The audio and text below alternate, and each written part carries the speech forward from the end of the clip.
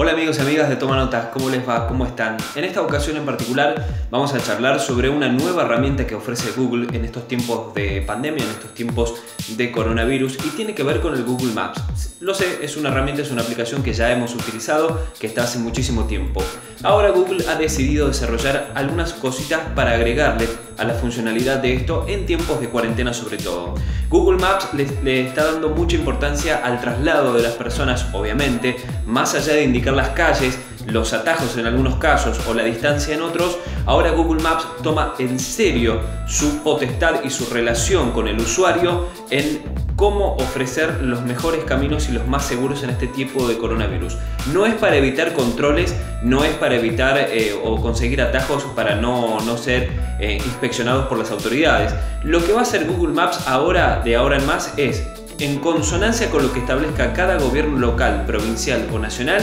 regir con las mismas reglas para brindarte información sobre la funcionalidad de transporte. Por ejemplo,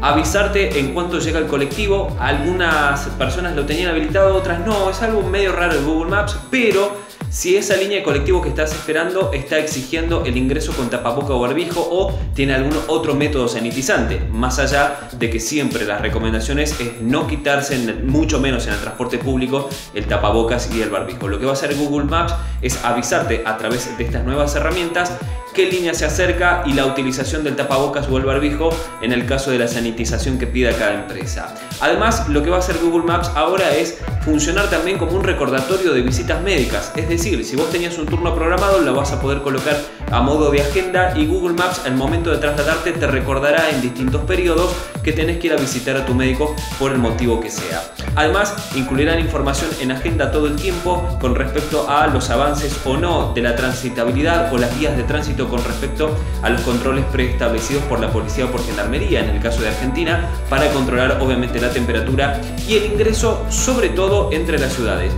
Más bien esto va a funcionar en su plenitud en la zona de Lamba, ¿no? Hay muchos trabajadores de la provincia de Buenos Aires que se deben trasladar a Capital Federal. Pero todas las ciudades lo van a poder implementar, incluso cuando se habiliten las visitas interdepartamentales o cuando por ahí eh, querramos hacer eh, turismo un poco más prolongado en lo extenso en el tiempo.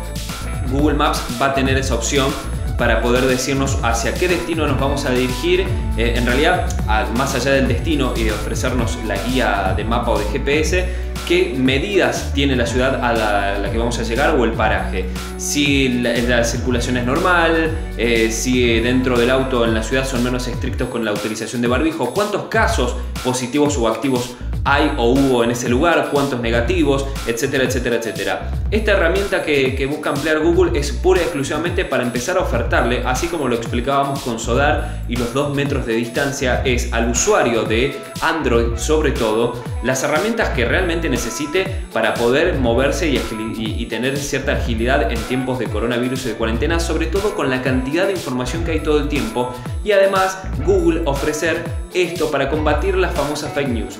Recorrido en las últimas semanas, en los últimos meses, informaciones falsas que tienen que ver con tal recorrido se puede hacer sin barbijo, sin tapaboca, eh, tal prestación se puede hacer sin barbijo, tapaboca. Bueno, eso eh, Google Maps lo que busca es